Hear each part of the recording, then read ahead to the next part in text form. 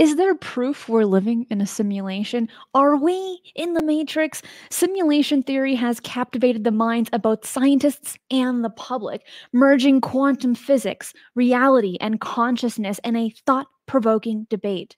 Hello, and welcome to this episode of Mysteries with a History. We will be taken on a wild ride into the unknown, the strange, and the mysterious. Like you, I have questions, and like you, I want answers. And with each episode together, we will peel away the layers to look for the truth. This is a very complex topic, and there's a lot to cover, so I simply cannot do without my co host, Jimmy Church of Fade to Black Radio. Jimmy, happy Thursday. Hey. so, behind the scenes, before we even get into the simulation theory, we are seeing history happen right before our eyes today at this exact are we are we time. Are we really? Are you sure? If are everything sure? goes well. If, if, if, are you sure? Man, today's a big day. It is. Today is history on histories with the mystery. That's that's what's going down. It's uh it's pretty exciting. Okay, so let's get to that in a second and I'll let everybody know I do have uh I've got a second channel that is running at the same time. Uh, which is the live feed of uh, Odysseus. So we'll, we'll we'll get back to that. Christina, what inspired this deep scientific and philosophical show that we are going to do today. What, what, where, this is just out of nowhere. Out of nowhere. I wouldn't say that, but this is um something that people have talked about. I've been prompted to cover this over the years of doing this show. But the thing is that you know that eureka moment when you're in the shower, in the bathtub, or like right before going to bed, you got these mm-hmm. wacky ideas, and then your mind just keeps going and going and going, and you can't make it stop. Mm-hmm. This is one of those topics. This is one of those, and uh, I, I get that. I totally get that. And the more that we look into the subject, uh, are we living in a simulation? Is this the Matrix? I remember oh, the more that I research it, the more that I sit back and go, man, I don't know now. You know, I, I just don't know. But this is a deep, deep thought and thought experiment that has gone back thousands of years. This isn't something new. Uh, before we get started on the history, uh, we'll go backwards first. Um, in uh, less than an hour, everybody, in about 50 minutes, the touchdown uh, of Odysseus um, is uh, is supposed to happen, and when it does, uh, we can break in and hopefully have some good news because this will be the first time that we've uh, allegedly been back to the moon since uh, you know 1972 Apollo and we 17. referring to the United States because there have been other countries that have already placed probes on the moon but, crashed um, on crashed on the moon. Right right, yeah, right right right so yeah, so it's a big deal, and if it uh, when it goes down, which is at uh, um, uh, three twenty four Pacific time, six twenty four Eastern time, and I'm looking at the clock now, so I've got two thirty five uh, on my clock. So, but I've also got the live feed, which is happening uh, here to my left. I wanted to say this. Uh, because everybody is spending time with us while this is going on and we're not going to leave you in suspense. That, wouldn't be cool. This is huge breaking news, and and we'll bust into the show. But let me let me back up and say one thing before we get started. In the in the now now, when the Matrix premiered, I had uh, there was a magazine here in LA called the LA Weekly, and I would look in the back, and they would have all the the premieres of of movies coming out. I had not heard of the Matrix, and I see it, right? And I see the description of it. Oh, really? Okay. Premiering when? Tonight? I'm there. I, I don't know what this is really about from the description, but it seems like it's going to be really cool. So I go and I see the movie. I didn't get it. I didn't. I it, it was too much uh, all at once.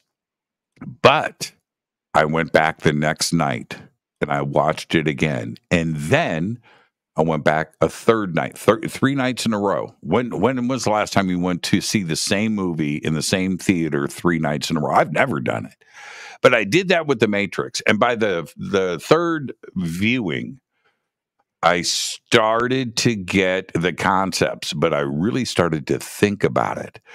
And it, you know, simulation theory and and the ideas behind it. Uh, you know, what is our reality? and that's it, it, now I had always thought about deja vu. And we'll talk about that too as well today. I'd always thought about that stuff growing up. And then when you see something like The Matrix, then you jump into the research and start looking at this. Many physicists and scientists have uh, uh, uh, surfaced with uh, alternative ideas with this, but we have other thought leaders around the world that are discussing this now as as a possibility of our actual reality. And that's the part that I find really interesting because I'm not a PhD. I'm not. I'm I'm simply not. I'm, I'm somebody that wonders about the world and and and what is going on. But when you have these big big brains discussing this with Christina, I'm going to say it with a serious face, right? A serious face you have to wonder what is it that they know that we don't. So let's let's jump into it. I'm ready. Okay, I'm going to share my screen here and first talk about the butterfly dream that was first contemplated during the 4th century in China. So here is an image, uh, kind of a rendition of what was going on. And the butterfly dream is a well known philosophical narrative from the Zhuangzi, an ancient Chinese text attributed to the philosopher Zhuang Zhuangzi, commonly known as the same as the title of the book, who lived around the 4th century BCE, which is a long time ago. And this is during the Warring States period. So before China became China, it was a part of the Warring States. And so, this is one of the most fundamental texts of Taoism, though it also reflects broader Chinese philosophical ideas and is celebrated for its literary qualities, humor, and deep skepticism of controversial values and knowledge. And to write something already like that in the fourth century BCE is impressive. But looking at this in chapter two, it talks about the butterfly dream, and another title for it would be on the equality of things. And so, how the story goes, at least, is that Zhuangzi dreams he's a butterfly fluttering very happily, completely absorbed in being a butterfly. He is oblivious to his individuality as a person. So suddenly he wakes up and he finds himself as himself, human, once again. And then he ponders whether he was Zhuangzi dreaming he was a butterfly, or whether he is now a butterfly dreaming he is Zhuangzi. And so this narrative, while it sounds like, why are you guys talking about this? What's it with the simulation? A lot, actually, because the narrative is rich in philosophical implications that have been interpreted in various ways. And some themes include the nature of reality and identity, because the story questions the nature, just the full blown nature of reality and identity in itself because it challenges the distinction between a dream and the real deal, suggesting that we consider what might be real could be an illusion and vice versa. So, this transition between Zhuangzi and the butterfly blurs the lines between different states of being, inviting us to consider the fluidity of identity and the possibility that our understanding of the self is not only limited also subjective, but even potentially an illusion. And when we look at in today's world, virtual reality, the simulation theory, it's displaying that everything that you are seeing, yourself included, is merely an illusion. And this thought, when it was first written down to our knowledge, was the fourth century BCE. It's impressive. Here, yes, it is. It is. And so the complex mind to think like this is not modern. You have to look at it. We have thought about this, and these are deep, deep, deep philosophical and, and existential influences. Very, very, very deep thought. But to come out of that and to, I'm talking about the dream, to remember the dream, but then to flip it over at, at 400 BC and and write it in such a way that would allow others to think and I like the word ponder the same situation. And to to sit up and go wow okay that dream seemed pretty real. I was flying around from flower to flower. I was free. I was happy i understood i was the butterfly i understood what it was like to be free flying from flower to flower it was real but wait a minute am I now the butterfly dreaming me? And, and then he he put it into words. Here's the other part, though. Um, his his own text when he wrote, "Was I Shang Tzu dreaming I was a butterfly, or am I now really a butterfly dreaming that I'm Shang Tzu?" And it just it, it's such a simple concept but it's very, very easy to understand. And then just apply that to everything. It has turned into a monumental thought experiment that has gone down for uh, over 2,000 years now. It is much discussed. Uh, we're going to get into it, it, it is such a deep subject and and how the brain works how dreams are what our reality is and then of course the technical side of it. And could this be a binary ones and zero world like the matrix? When the matrix started the film when the film started if you remember it's binary code that was flooding down the screen that very existence suggested then in the Matrix about a, a computer driven simulated reality, which we found out later in the film, of course, was a giant computer. Everybody's plugged into it, and you're living in this reality, and it, to you, it's real. And if you remember, the, the key moment here is unplugging from the matrix, which has now become a pop culture term hasn't it? So I think we all understand what it is. The question is, are we? And no one has the answer to that yet. When it comes to the butterfly dream, it became one of the foundations of Taoism. And while we're still on that thought before we continue, we can also look at Buddhism and Hinduism and their concepts, their understanding of samsara, of karma, of Maya, because samsara is not only the realm of suffering, but it's also the realm of illusions and delusions. Maya refers to illusions and karma because this is really interesting because the concept of karma in samsara can be likened to the rules of code governing a simulation. Just as actions within samsara influence future rebirths, actions within a simulation could determine outcomes within that framework, suggesting that this life that we're living could potentially be programmed in the nature of existence. And when we think of it in that kind of concept, because not everyone's going to agree with that and you're you don't have to, that's totally fine. But if we just hold on to that for a moment, Hinduism has been taught for thousands of years. Buddhism for about a little under 2000 years.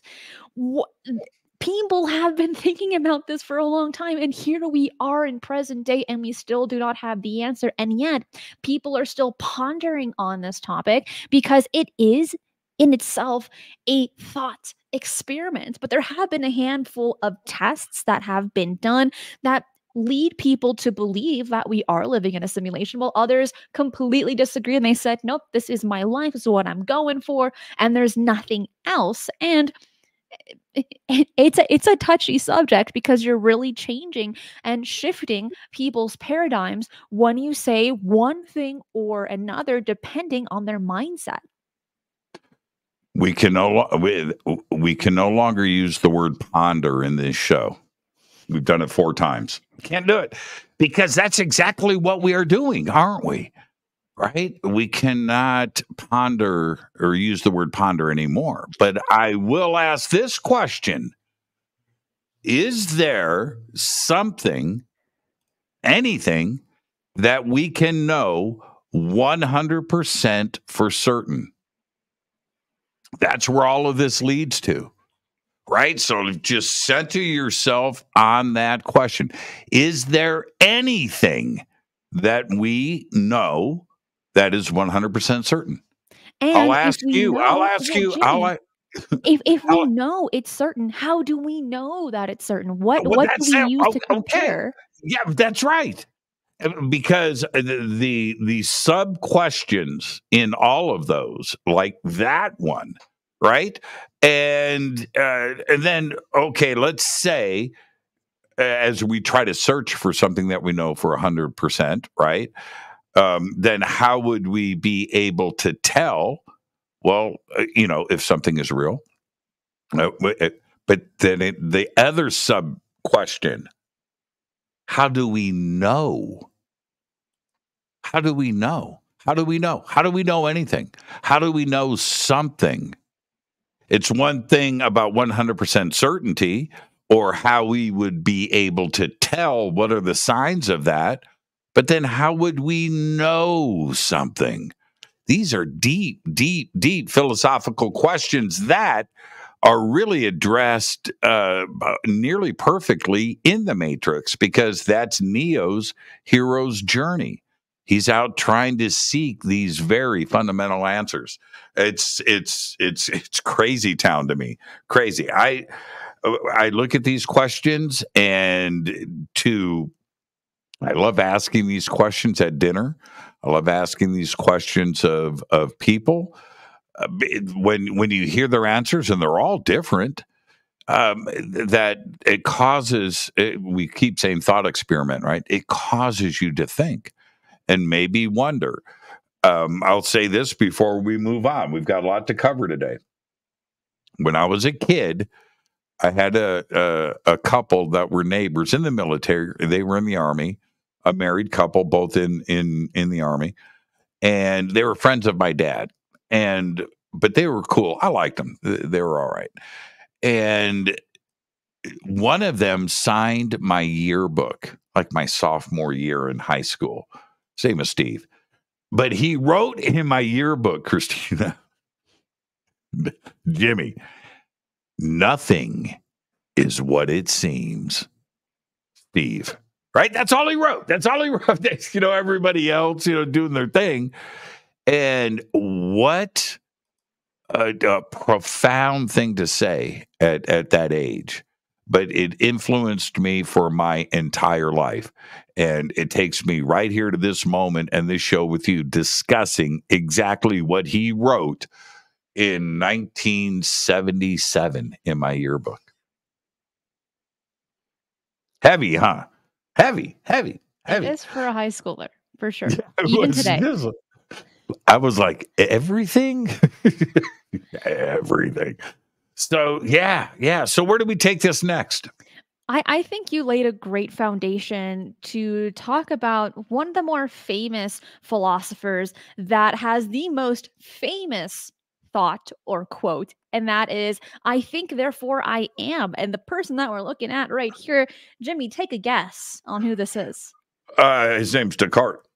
That's right, Rene Descartes.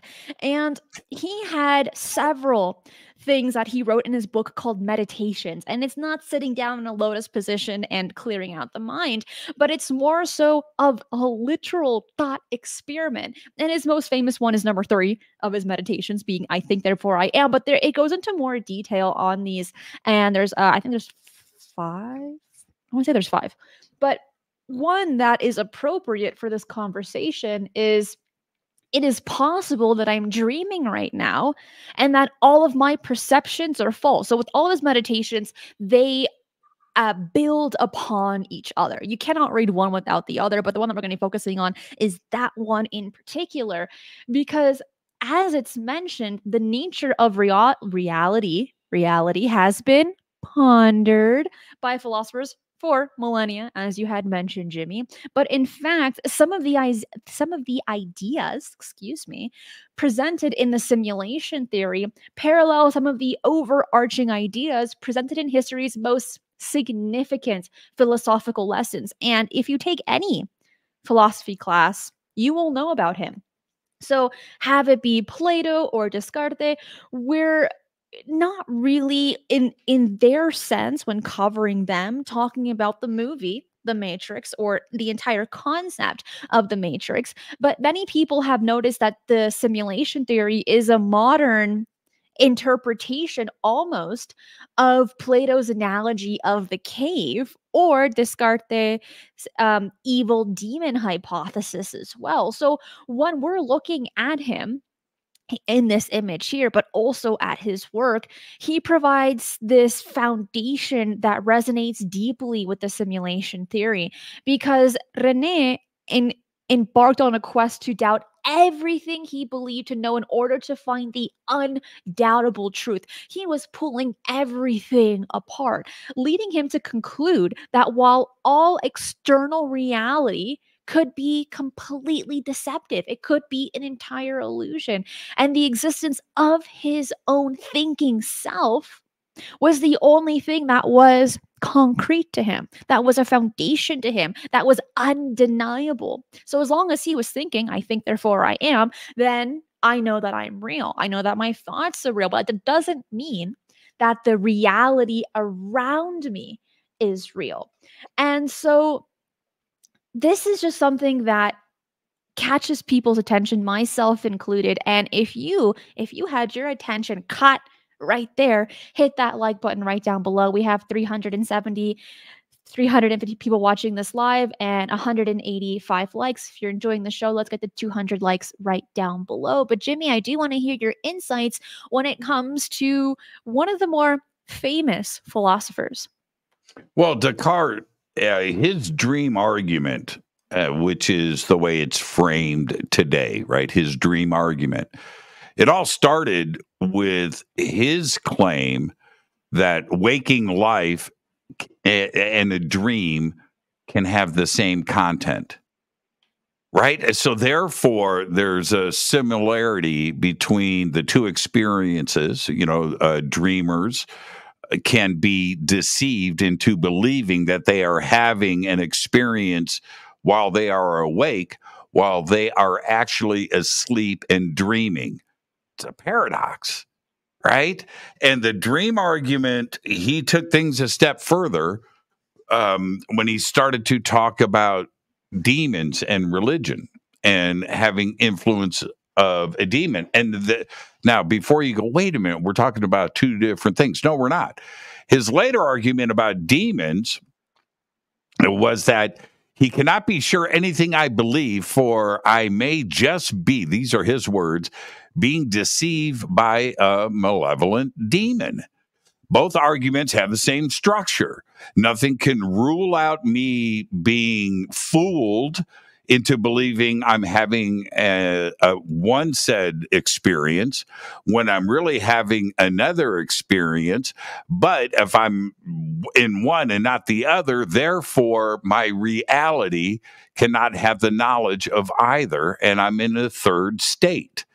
That that goes right back to what the simulation theory is all about today right? How do we know I, when you start to question everything what is the real base reality? Uh, we simply don't know that. And there there are others that that walk around and they can't distinguish or they stop trying to distinguish what is different from the dream state and reality and they're making it both the same. And there's nothing wrong with that either by the way. Dreams are uh, have a heavy influence on people and, and how they are interpreted. But going into the dream state just may be as real as another parallel existence as what we consider the waking part of our lives as being the real situation. And that's what's so intriguing about Descartes. And for him to think like this back then, it has been debated and talked about and written about ever since. And I, I just want to I just want to bring this in. I, I really do want to add sprinkles to this layer cake that we're making. I just want to touch on it because if we talk about just for a moment here, astral projection and you're able to see your body, but you're outside of your body, which one is the real you? Are you looking at in a simulation or is still a part of you, but not a part of you? Can I put, can I plug that in in today's conversation? Have you ever dreamed that you were flying? Yes. Of course, right? Heck yeah. It goes right back to Shang Tzu and the butterfly dream. If you've ever done that, that I'm telling you, I, I haven't done it in a long time. But when I was flying at five years old, having these dreams, that was real to me. It was it was real. I, I was how is it possible that a five year old mind can go and observe right up and above a playground, looking at your friends playing and thinking about a very, very complex narrative like that? How is that possible? Or is it that it was an astral projection and that it was real? And it goes right back to the butterfly dream. Which one? So, yeah, absolutely. I think Descartes was right we need to look at it like this. And if you've ever wondered about an astral body out of body situation, think about when you've dreamed flying. Yes. Uh, thank you for indulging me on that little thought right there because it was burning inside. And I said, it's not in my notes, but I really just want to touch on that. So, some other things that might lead people to believe that we're potentially living in a simulation, there's a handful of points. And one of them was actually mentioned by Elon Musk in an interview a few years back, actually, of the technological trajectory of these last few years on how our technology has advanced, because the rapid advancement of technology especially in video games and virtual reality, shows that simulate environments are becoming increasingly realistic. Good example of this is VR right now. Okay. You, like the higher version of Sims, someone probably pointed out, maybe Call of Duty as well. And so, with this kind of progress, it's theorized that civilizations, perhaps far in the future or eons more advanced than ourselves, could create simulations that would be indistinguishable from a real reality. So that's one of a handful of points that people kind of look at and they scratch their head and they say, oh, especially in today's world in 2024 where VR is becoming more prevalent there are videos of people wearing the VR goggles and walking out in the city it's kind of spooky but then we can even bring Neuralink into this and having a chip inside we, where we are always plugged in, where we're always connected, more so than having screens and getting bad eyesight, as Elon Musk has mentioned before. But to have it implanted, would would that be evidence maybe of living in a simulation in that moment when more people have chips in their mind? I had a friend uh, that uh, I had, I still do, that it, it has a company, and he sent me uh, some of their work, and and I'm looking at it, and so it was uh, of a home in Palm Springs in the desert, and you could go with your mouse and or or your keyboard and just walk around and explore and check things out. Okay, so I'm doing it. It's just incredible. And I'm picturing, so I get him on the phone and I go, Scott, dude, how, how much video? How did you? he goes, it's not real. I go, what? He goes, it's not real. That's all, that's all artificial. What do you mean? What, what part? All of it. All of it. All of it outdoors, indoor, everything was a simulation. I thought he was shooting with 3D cameras and he had some kind of way of getting this all together. And you no, it was all simulated. And I'm telling you, Christina, it was real, real, real, real. Now, you, if you take that idea and that concept and you go into Neuralink, Forget about VR glasses, right? Okay, I, I get that. I understand that. I've done that. But if you could plug his software directly into your brain, you wouldn't know. You simply you wouldn't know, which takes us to um, I want to talk about. Let's flow right into Nick Bostrom. And the reason why I want to go with Nick because Nick, um, when he started uh, talking about this, it's a while ago, and everybody can go and I've read it many times. You can read his original paper, which is called the Simulation Argument, and you can go and read. It's 14 pages, and you can find it online. But he's been talking about this for a very, very, very long time. And then Elon comes along and, and a few others going, well, you know, I think that there's a 99.9% chance that we are living in a simulation. That's pretty good odds, right? That's pretty good odds, 99.9% chance. So I'm going to read the opening, it's very short paragraph written by Nick about his paper, The Simulation Argument. And this is what he writes. He says, This paper argues that at least one of the following uh, propositions is true. One, the human species is very likely to go extinct before reaching a post human stage. Two, any post human civilization is extremely unlikely to run a significant number of simulations of their evolutionary history or variations thereof. Or three, we are almost certainly living in a computer simulation. It follows that the belief that there is a significant chance that we will one day become post humans who run ancestor simulations. Now, and, and if you uh, unless and and and and that idea is false unless we are currently living in a simulation now it, it, it seems deep and it seems complex but it's really not the the reason why I, I I listened to Nick, but also backed off of his version of this, is he is talking about the future, right? When we get the ability to have a simulation and we have non-player characters and then you take those characters and you make those your relatives and you put your relatives minds into that that if we got to that technical advancement that we would interact with our past and our past would be real and the past would be a simulation and we could go and experience all of that. And if that is possible, then why wouldn't it be possible? If that is indeed the case, then we could be in a simulation today. And that's what he postulates. And it's a very interesting one. The only caveat here is that he is talking about us in the future with the ability to go post human. Right now, would that indicate that in the future, if we could access the future, that this is going on and therefore we would be living in a simulation?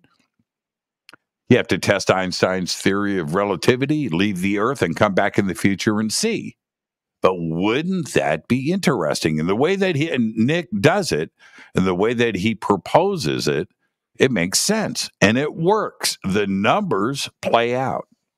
And he was one of the first modern day scientists to dedicate an entire paper to it and really ponder the possibilities, as his first version of his paper was written back in 2001. And then mm-hmm. it was published in 2003 in the Philosophical Quarterly. But when we're looking at this, one big point that he makes is if and if is in all caps. If we do not destroy ourselves and if we are advanced enough, we will be able to create a simulation at some point in time. But he really emphasizes the word if we do not destroy ourselves. And the way that things are going and have been, I would say, for a few decades. Do you? I, I don't know how much longer we have left, but when we're looking at this, and if we are, I know Jimmy's laughing at me, but if we're able to technologically advance even more, yeah, the Sims could be real. Here's an example. Have you ever gone out in public. Okay, which is going to be a, a yes mm. for a lot of people. You go out in public and there's just some people that aren't fully there. Like they're not acting like people in the sense of like they're just not consciously doing the things that they're supposed to be doing and they stand out like a sore thumb and you think to yourself are they an npc like what's going on here like their interactions with you maybe aren't fully there maybe they're standing on the busiest road in the middle of the road where cars supposed to be going and they're just not cognitive, aware. aware yeah, they're of not what's aware. going on. Right, right, right, right. Can that potentially be an example of a simulation where some are conscious and other ones just haven't upgraded yet? Well, okay. It's how you observe it. Right. So maybe in their world at that moment that they see the world differently. Right. And they're not, uh, they're, uh, that's, uh, it's going to take us straight into Schrodinger's cat if you think about it in those terms. If you think about it in those terms, which Schrodinger's cat, which is exactly what Christina is talking about, but it gets more complex. And the reason why I bring this up like I do, Schrodinger's cat, like even the idea is a very simple one. His his ideas behind it dealt with physics. All right. But the idea behind it is simple you have a cat in a box. Until you open the box, the cat is both dead and alive at the same time. Now, don't scratch your head and go, What? Well, you don't know until you open it up, you, until you observe it and change its state. That's it.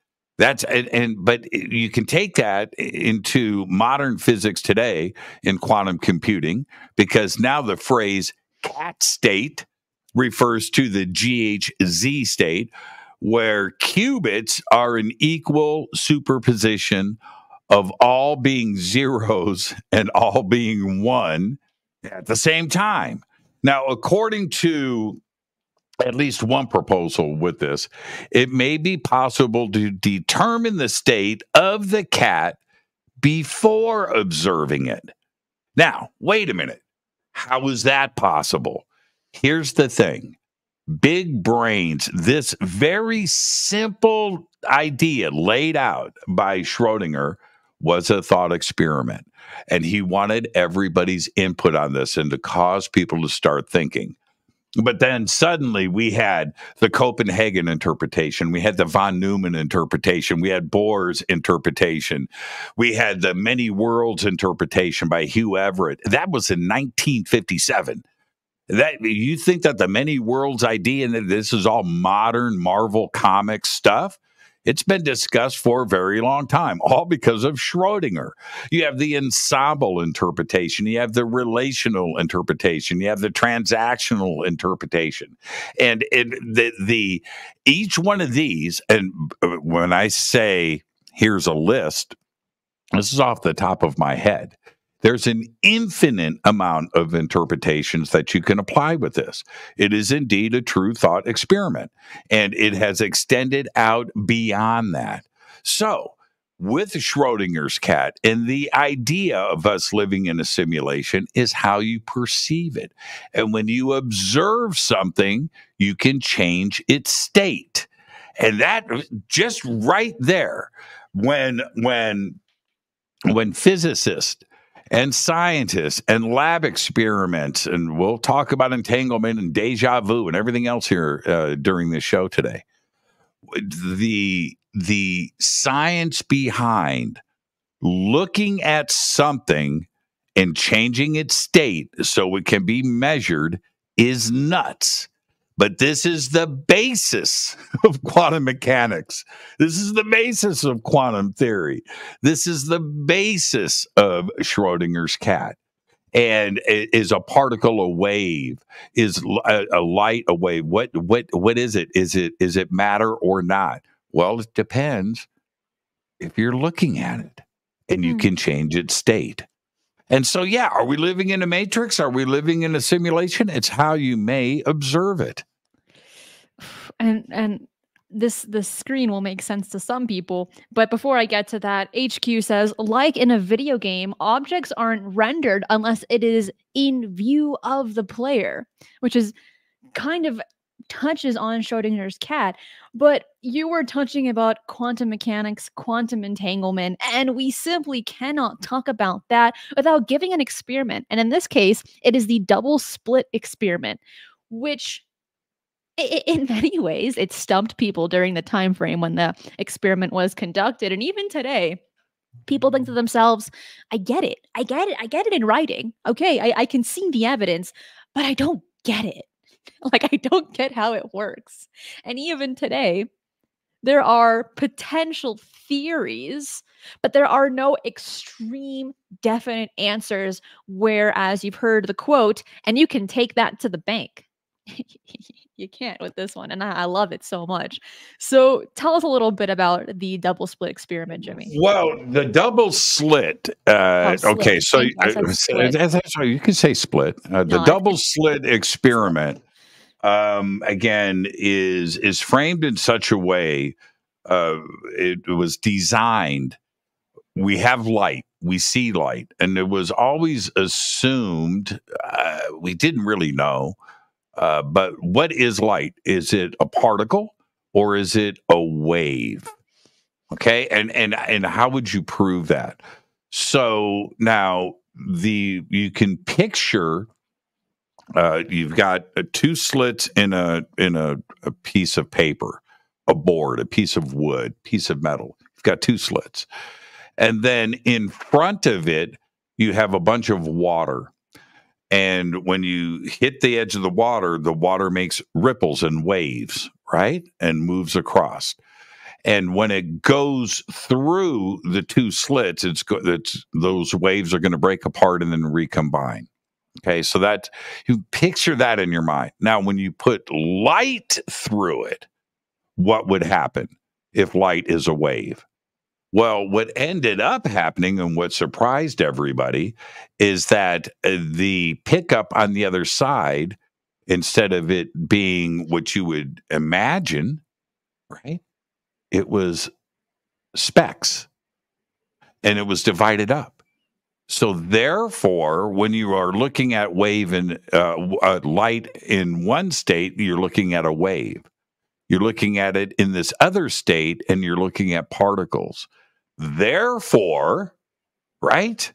It's the same thing at the same time, depending on how you observe it. Now, I would call it a phenomenon in that it, we can't explain it a lot it's very, very difficult to understand light and to hear a physicist discuss this. You're going to hear different opinions. Uh, there are, uh, it's, it's, uh, how long does the energy last? What is really going on? Uh, it gets involved, of course, with the speed of light and these other basic properties that uh, Einstein has written about. I get all of that. As much as we know, we don't know a lot and the double slit experiment is proof of that. And when when this was demonstrated throughout the world, I mean, it was like a big deal. Wait a minute, you mean light's not a wave? It's particles? Well, it depends on when you observe it. And you can change something's state. It's crazy. It is. It is. And and not only that, this was conducted like the original double slit experiment was performed in 1801 by Thomas Young at the Royal Institution. And what's what baffles a lot of people is that this paradoxal behavior defied the classical understanding that entities could only exist in one state at a time, introducing this concept that the act of observing could fundamentally alter the outcome of an experiment. Now, you could think to yourself, this is either super wacky or you're God. All right. Where if you see something, bam, it's going to happen. Now, can it happen in your favor? you got to be a wizard for that one. But this well, is something it goes that, back, uh, but it goes back, goes right back to Schrodinger's cat. That's right. Right, and these, these, and, and and our base reality, and it goes back to the butterfly dream. All of these concepts all tie together. Now, in the end of this show, and I, I, I just jumped in and interrupted you. At the end of this show, everybody's going to be thinking the same thing. Okay okay, am I real or not? Which version of me right now is the real me? And and here's the other one last little thing. When you are having a conversation with somebody, think about that too as well. Personality conflicts, type A, type B, type C, type D. Who are you talking to?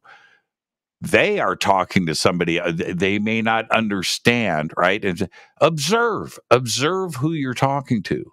And so you can they can understand what you're saying and get into a level playing field of understanding which comes down to communication. So there you go. Just think about these concepts. You're going to be doing it a lot tonight after this show. At least we hope that you do. The show is meant to encourage inquisitive minds, excuse me, and to ask bigger and better questions. Just touching on quantum entanglement, and I wish we kept this name as our everyday reference to quantum entanglement, and that is spooky action at a distance. Thank you. Thank you so much, Albert Einstein, for that. But unfortunately, we don't use it that often anymore, and I wish it kept that title. I just wanted to put that out there, and maybe we should start changing that, Jimmy as of today? I'm just going to let everybody know we've got about 15 minutes to touchdown. I've got it here live. Uh, there's a lot of flurry now, a lot of excitement going on in mission control, but I will keep everybody uh, posted here. Yeah, entanglement.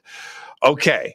So, and we've got to wait till we get to deja vu and and the Mandela effect. I think all of these come into play here. Entanglement is a crazy thing. And now let me let me go simple. I talk about this all the time.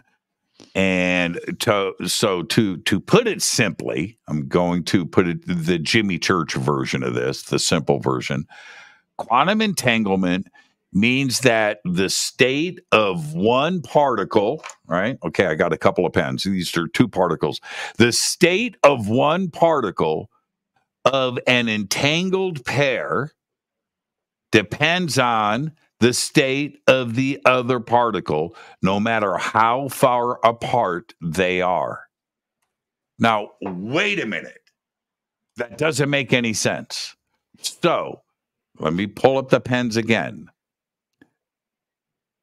The state of one depends on the other. The pen flips, this pen flips but not like that. They will do it at the same time, always, no matter the distance. So, with this in mind, a particle spins. Okay? It spins. It spins in one direction. And if it's entangled with another particle, it's also spinning if you change the spin and reverse it on this particle, this particle will reverse its spin at the exact same time, even if they are on the opposite sides of the universe with stars and planets and antimatter in between. No matter what. That's a crazy concept. So when you take the simulation theory and are we living in a simulation and we apply that idea to it and it goes all the way down to quantum computers is that what if my brain brain all the particles are entangled with another brain on the other side of the universe? Would that enable communication? Not one particle at a time. That would take forever but but if one particle can be entangled, couldn't an entire brain be entangled to another brain? And I would suggest that ET would know how to do this. And and and this would answer all of those communication problems at the speed of light. That's the first thing. But you know what else it does? What? Channeling and channeling information. So when Descartes Zhuang Zhou, Da Vinci, these brainstorming monumental ideas come in. Are they channeled from somewhere else? Are we entangled with another mind on the uh, uh, you know on the other side of the universe? Well, science says yes, and the entanglement happens at the speed of now. It, it there's no delay. And how is it possible that two particles on the uh, opposite sides of the universe can react at the exact same time. It goes against all of Einstein's work with nothing can be faster than the speed of light.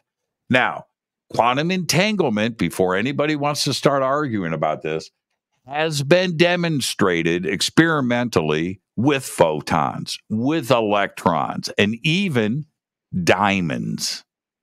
The use of entanglement in communication computation, quantum radar is an active area of research with state actors, universities, and corporations all around the world. They are all working on this right now. This is part of our base reality. If that is indeed the case, then what is real? That's it. Don't know.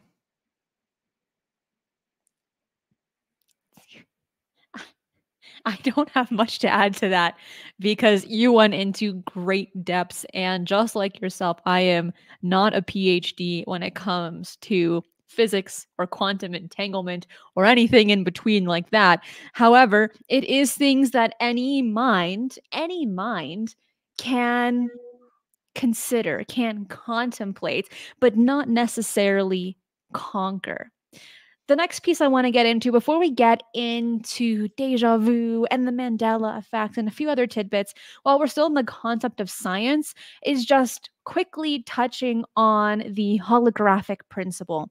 I'm oh, going to, as his Jimmy will spit out his coffee. Yeah, let's go deep. You want to go deeper? Let's go there. Yeah, let's absolutely. Let's, let's let's pull this one up because the holographic principle suggests that the information contained within a volume of space can be represented on a boundary to that space like a holographic image. And this theory emerged from string theory and quantum gravity research implies that our 3D reality might be projected from information encoded on a 2D surface, very much like a projector. I think that that's a decent example, right? So, to some, this principle hints at the possibility of our universe being a kind of projection or even a simulation where the fundamental reality is a two dimensional surface.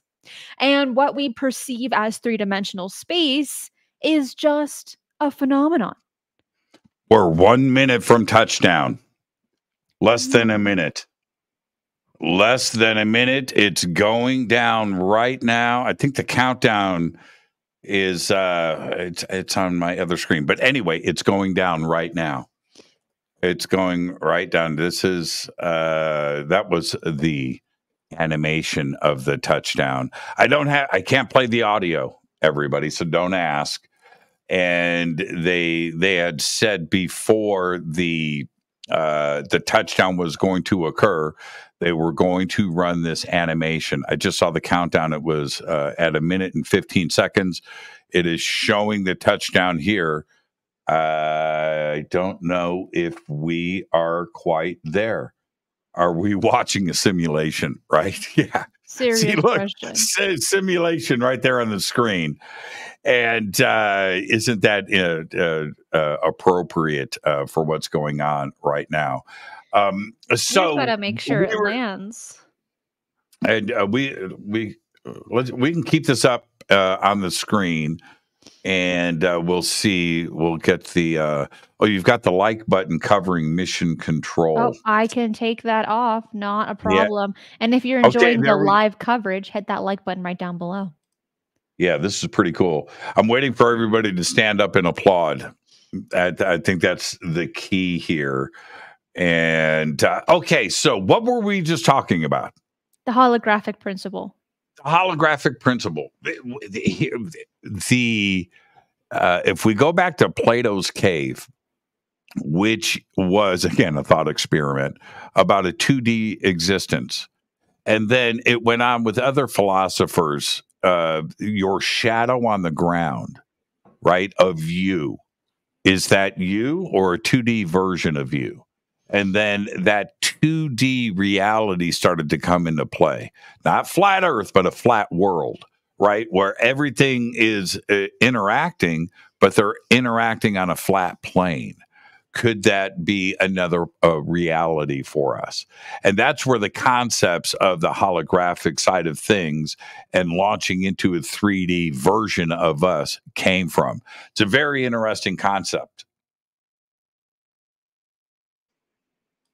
It's something that people would say, "Ah, oh, flat earthers. That's what this topic's about." And no. no, the answer is is no to that one. And that's all it It's is just merely a theory. It is a thought experiment and it is something that is worth your time to consider once in your lifetime. Just once. I mean, maybe more, that'd be kind of nice, but once is enough for this one.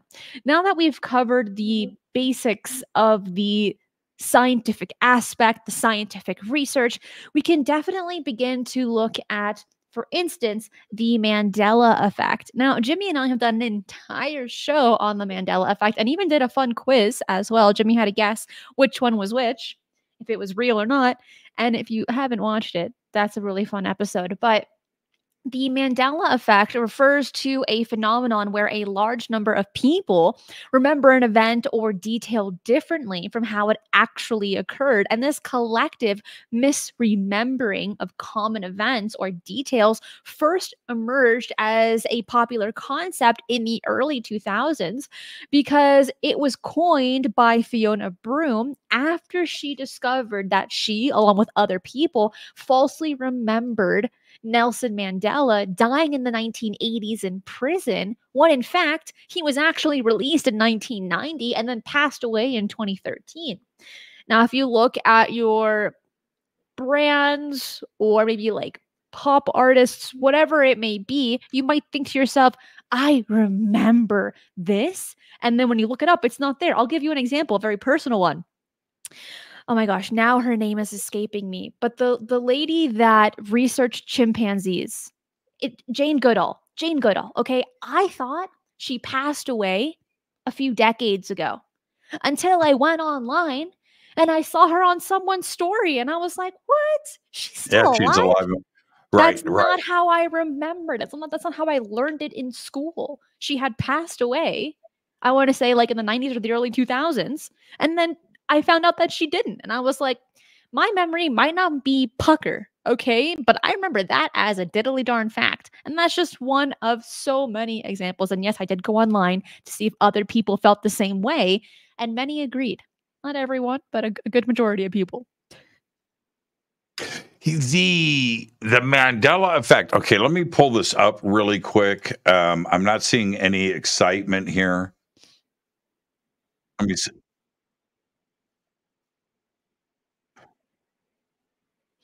Well, while Jimmy does that, when we're looking at the Mandela effect here, people consider it to be evidence of a glitch in the matrix, a glitch. Okay, they're cycling. The they're cycling the ground transmitter. Uh, I think there's some issues. I, I, think there is some issues here. Let me pull this down uh, for now, and if I get an update, I'll bring it back. Perfect. I don't want to bring sad. I don't want to have sad news live on the show. With the Mandela effect, where the um, the ideas, and you go to the peer definition, right? You go and you look and and see what people are actually calling this.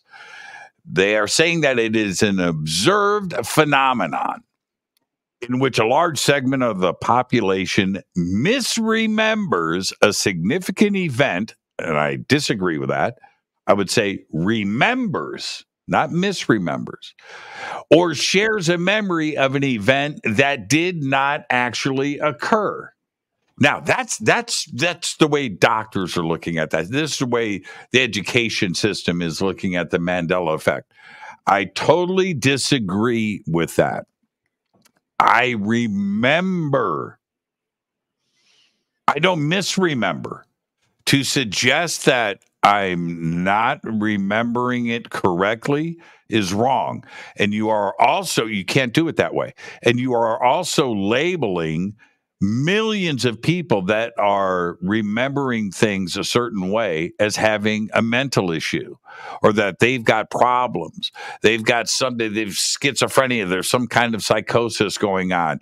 It's a, it's a dream. It's, uh, they, no, no My memory is my own, and I remember it that way. And when I go down a long list of stuff that I remember a certain way, and it is it is symbolized and represented differently today, I sit back and scratch my head. That's it. But I'm not thinking that I'm misremembering it, that I'm remembering it wrong. No, no, my memory is my own.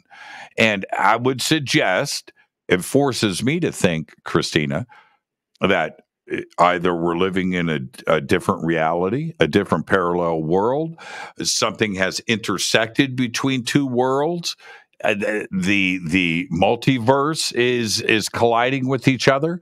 Is it time travelers from the future going back in time and changing something? They can't change our memories, but they can change the event. There we remember, therefore, we remember what was real, but they have changed the facts in the past. Right? And that's that's the way I look at it. I cannot accept that millions of people misremembered the same thing. No, no, no, no, no. I think there's something much more simpler involved here than a mass psychosis in humanity. This is why this is a topic that needs to be addressed when it comes to the simulation theory because are there those that got the upgrade and others that didn't? And how come you're able to catch a few of them a few tidbits that don't look right that you see today while you don't catch others? And how come not everyone agrees with you? There are so many questions when it comes to the Mandela effect and then putting it into the concept of the simulation theory. That's where your hair will immediately turn white from all of the intense thinking that you'll be doing. But when we're still looking at time, we need to bring in deja vu into this because it says that two thirds of people encounter deja vu. I've never had it. But theoretical physicist Dr. Michio Kaku believes that deja vu is a form of memory glitch that happens when, quote, fragments of memories stored in the brain are elicited by moving into environment and environment that resembles something we've already experienced. Jimmy, have you ever encountered deja vu? I do it all the time and I love it. And Michio Kaku is wrong. Okay? All right? He's wrong. He's wrong. And I'll argue. I'll debate this point. I don't like debating, but he's wrong. And let me tell you why. Deja vu. Okay, first off, it's French. So let's start there. Deja rêve, right? Uh, it's French meaning already dreamed uh, which is the feeling of having already dreamed something that is currently being experienced. The phrase deja vu is borrowed from French and means already seen. All right. Now, uh, you just stated approximately two thirds of everybody surveyed, populations around the world, say that they've experienced deja vu at least once in their life. Christina is saying she is part of the third that has never had a deja vu. I'm not buying that for a second. She just doesn't want to talk about it, but that's fine. The explanations behind deja vu, all of them, I, I believe, are wrong. And I'll give you my reasons why, but let's go over a few. It, it's a it's dream based, right? You dreamed it and now you, you're confusing the dream with the real-time experience that you're going through. That's wrong. It's a, that's a very popular concept. The dual neurological processing explanation of this there's that. You have cryptomnesia uh, which is th- that is an illness where you are confusing things right? You have memory based explanations to this. You're just remember you got an old memory, it's in your brain, your brain is using that old memory and applying it now to real life and you are confusing a, a memory with what is going on now.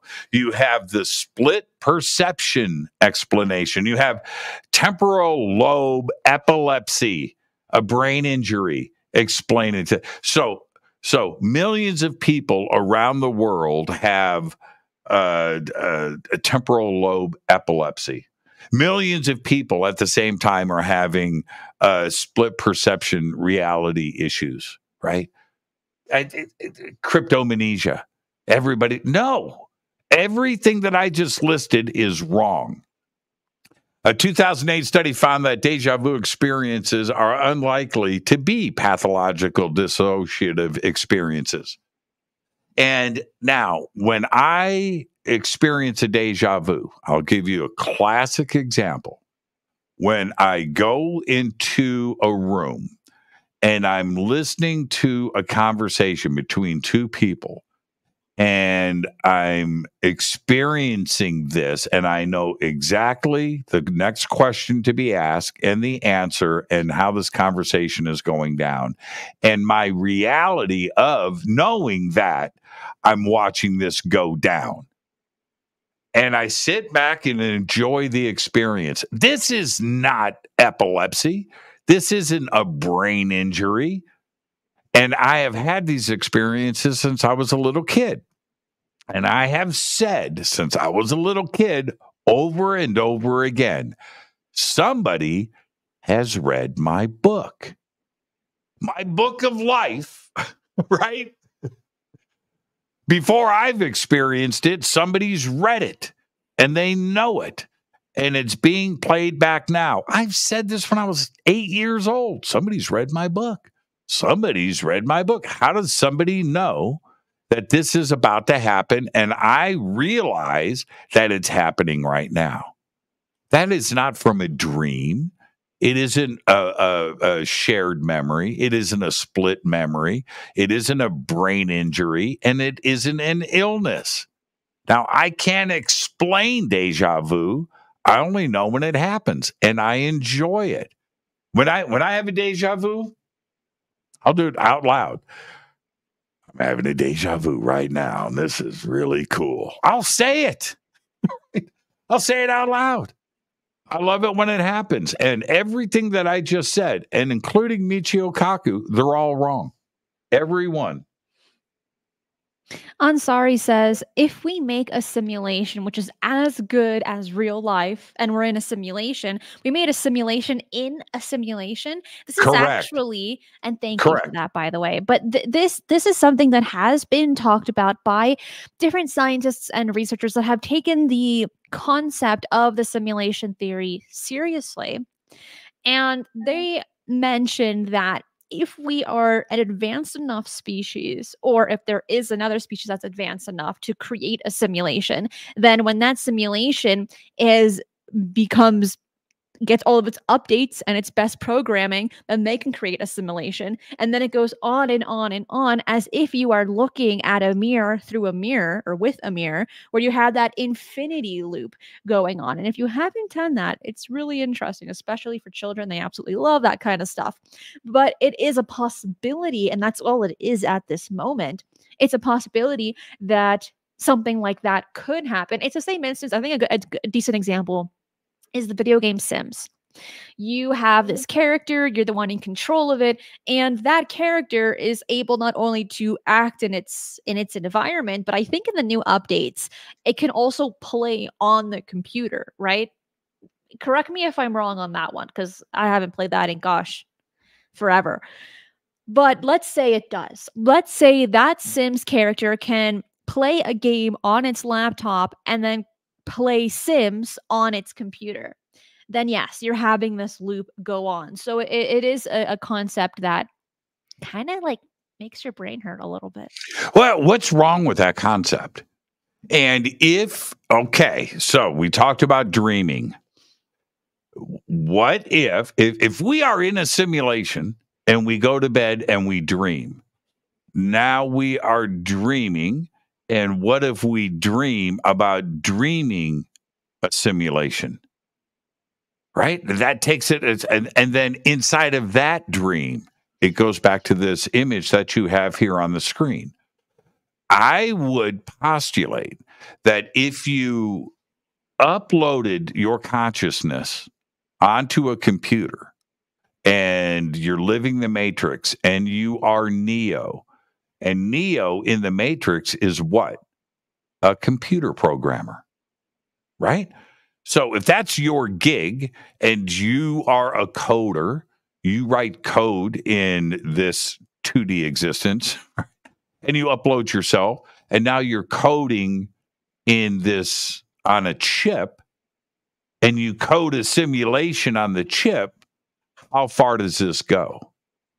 And uh, everything is mathematically possible here. This is not crazy town conversation. The ability to have a brain, Neuralink is here, to have a human brain computer interface in play, and that kind of interaction happens, and you are writing code while you are inside of the computer and that, that code is a simulation, what does that change in our reality? What does that change in me? What does it change? Would I know? Would you know?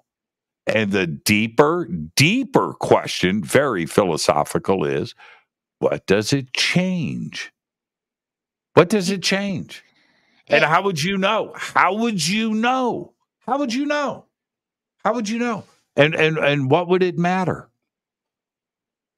Could could we add in the conversation destiny into this free will that that's where it gets complex. And i want to address um, android here and thank you for that. It says if life's a simulation then i think it's not a technical simulation it's an organic chemical simulation created by the dream of god just my thoughts.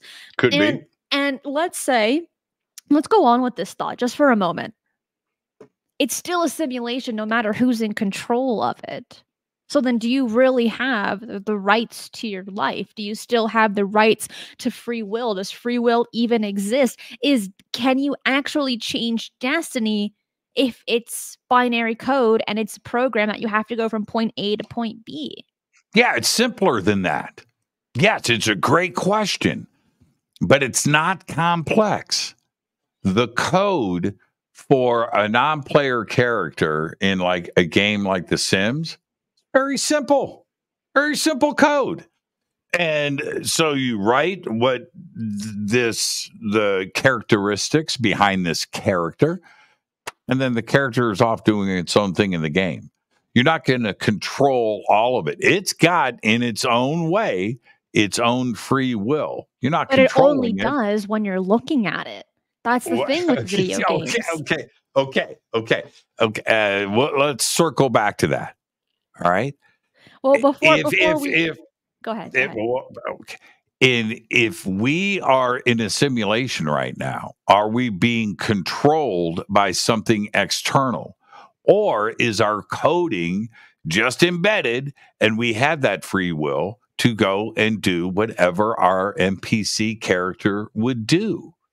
So that's that's and and again, I'll ask the fundamental question. What does it change? Why would you care? Would you know?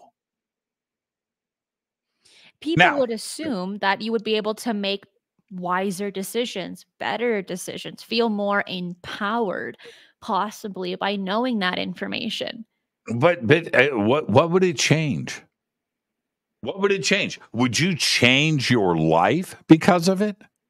Would you change your sleeping habits? Would you change your favorite colors? Would suddenly would you quit your job? Did, did, do bills stop coming in?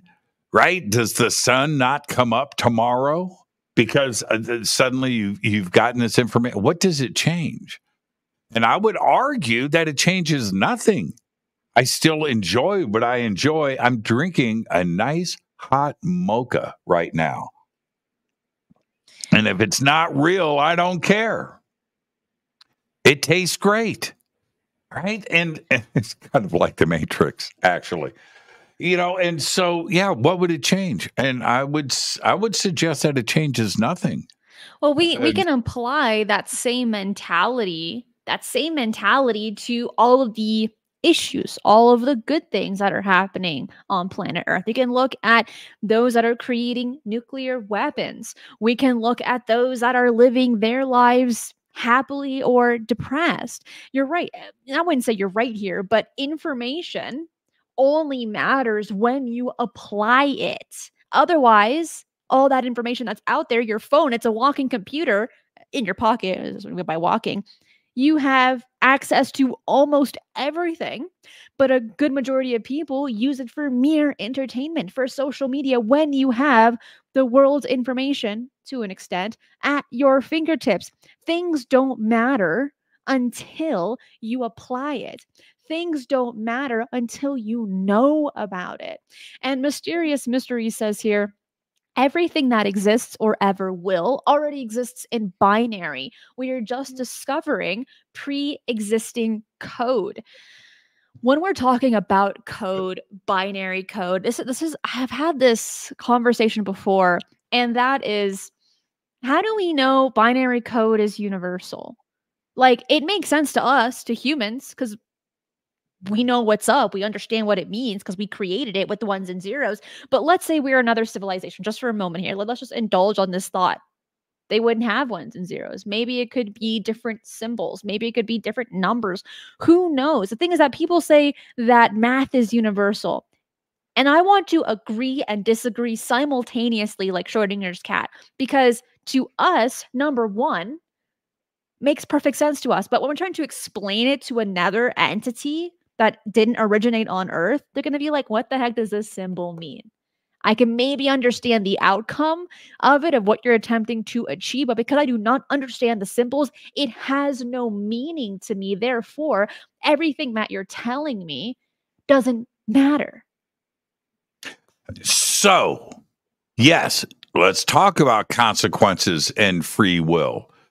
Okay, so we're living in a simulation. Does that mean you can fall down the stairs and not break your leg and have pain, burn your hand on the stove and not feel the, the pain of a burn, jump off of a building, or fall out of a window and and and not die. No. Actions have consequences.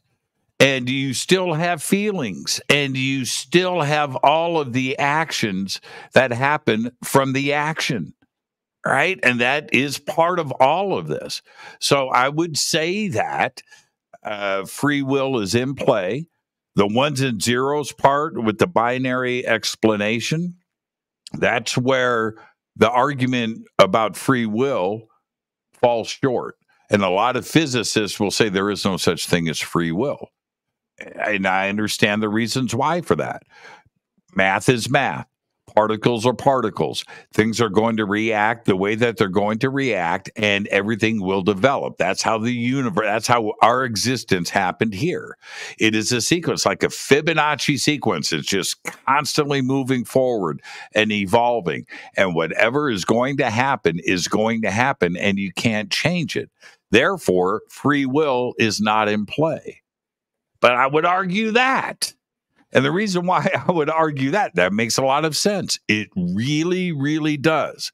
It's a hard thing to to get around, but if you have a, a, machine learning program, forget about us and free will. Do I want vanilla or chocolate ice cream or hot or iced coffee? Okay, that could be determined.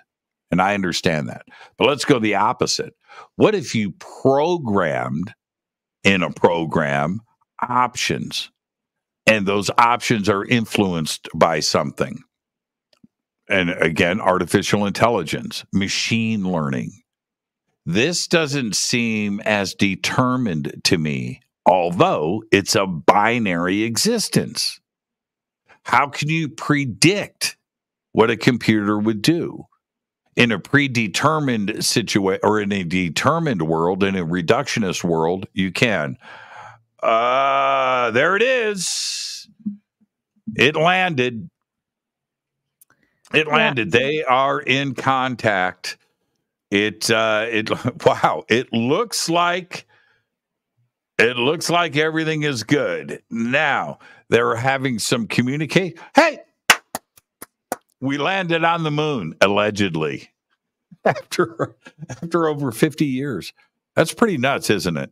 It is. It now, what's, what's interesting about this is that it was a private company it wasn't a government agency that was able to land on the moon, and only was with the assistance of SpaceX, but it is the IM mission. I am mission one, I believe. I am one. I am one. I am one. Yeah, um, which is a uh, a private company that wants to place cargo not cargo but like yeah cargo on on the moon at some point and also collect data and find water on the moon as well. And i don't want to say mysterious mysteries but it is easily translatable referring to ones and zeros. How do we know that uh, that, that's my question here. Is like it's easily translatable to us. We have the technology, we have the understanding, but how so is it to do the same on a totally different scale of symbols and language to an entity that maybe we just don't understand just yet? And hey, correct me if I'm wrong. That's totally okay. That's why we have these conversations. But as my current understanding, and it will change tomorrow, I hope. I don't know how that's plausible at this point in time. And Lou, thank you for that. That is so kind. I do appreciate it. And it's exciting that um, the Intuitive Machines 1 did land on the moon today live. We were able to see it right here, right now. It's exciting. It's pretty nuts, man. That's pretty nuts. Is that real? Okay. So, taking this concept one step further, something that's easy to digest but, uh, and I was uh, talking with somebody the other night on the show about this.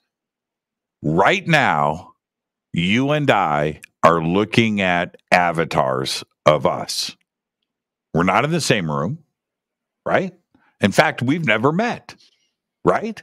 But we are looking at and communicating with images on a screen. Okay. All right. Our audience is watching this images on a screen. What is the difference between this and how information is processed through our eyeballs and into our brain? Those are all electrical signals. Those are all calculations going down at the same time. What is the difference? I would suggest nothing because you and I have met virtually, if I was walking down the street and saw you, I would know you, right? I would recognize you. My brain would make that calculation the same way that it calculates and understands my environment around me. So I would suggest again, what would the difference be? And to take all of this a step further, and to suggest that it is possible for all of these calculations to be recreated and put into our heads where this is the same as a, a reality would we know? Probably not. What's the what's uh, what's the uh, what's the uh, Star Trek the holodeck? Same idea. It's the same concept now, eh, the the ideas of time before we run out of time, the ideas of time when we go into Descartes' version of the dream state or Zhuang Zhou, and others that have talked about this over the years. When we go into that dream state, how is it possible that we can we know that we're awake, we go into the dream state, we fall asleep for 15 minutes but we dream an entire day in our head and we wake up 15 minutes later. We know we just dreamed the events of going to the zoo and looking at this and uh, that. Uh, uh, all of this happened in 15 minutes. How is that possible? Was it was it on fast forward? Right?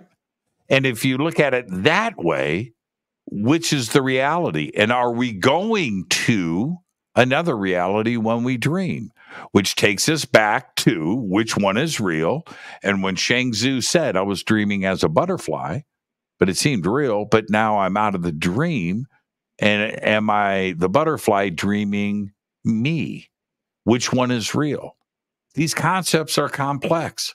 They really are. And again, the concern or lack of concern from an Elon Musk or the head of a the, the CEO of Google you know, pick pick some big tech company out, somebody that's running something. They're supposed to be really, really smart, and says, "Well, you know, I think we're living in a simulation." What is it that they know? And and if they can accept that and and and say it without sounding crazy or appearing crazy and running a big company, then maybe it is real. But what does it change? Again, I think uh, the deep philosophical answer to that is it changes nothing. And it changes nothing because it can't be applied, or it changes nothing because that information is insignificant to our everyday lives. Okay, so check this out. I'm just going to pop this up. I don't know who this is. Phil Francis. One and zero is tech, not spiritual. Right? Wrong. Mm-hmm. Wrong. 100% wrong. You know why? If we're living in a simulation, religion is in there. Therefore, one and zeros are very spiritual. The ideas of consciousness, a uh, spiritual connection, empathy, dreaming, awareness, giving, right? Service to others these deep spiritual concepts that have been laid down for millennia. If we are living in a simulation, then therefore it's ones and zeros. So I'll say it again changes nothing. Changes nothing. And I'm okay with it. I really am. Miss Firejack says, it may be a simulation, but we are still alive and aware. We affect each other, and every action creates a ripple, real or not. We are connected. And then Camp says it's all metaphysics. And thank you guys. By that way. could be metaphysics. It could be metaphysics. I like that. I like that. I like that a lot. I like that idea a lot. It could be. It, it, it really could. And what what I really enjoy about this uh, I I laid it out because uh, earlier where I was, you know, just listen. These ideas, Schrodinger and and and Niels Bohr and everybody jumping in on this action all the way through to today, Michio Kaku and Neil deGrasse Tyson and Brian Greene and Sean Carroll, you know, these big brains are all uh, uh, Max. Uh, they all jump in on this and have their own take on it these are heavy, heavy, heavy questions. And I think that everybody's got their own view on it. And I would suggest this, and then I'll, I'll, I'll part ways and say goodbye, everybody. I want to go and enjoy this moon landing um, and, and check this out uh, so I can talk about it later. Is this, Christina, what would happen? Think about this. What would happen if we took your VR glasses and put them on a chimpanzee. And he's looking at another world. What does he see? What does he see? She, right? Takes them off and then looks around. Whoa, whoa, whoa, whoa, whoa, whoa. What, what, what are the implications of that? And I, I I think about that all the time. There's a there's an ancient metaphor here where you have a fish in a fishbowl. That's its world. That's all it knows. Right? That's its world. Looking out above the water into this, they don't understand that. I don't understand it that their world, all that exists to them, there's no space. There are no stars, right?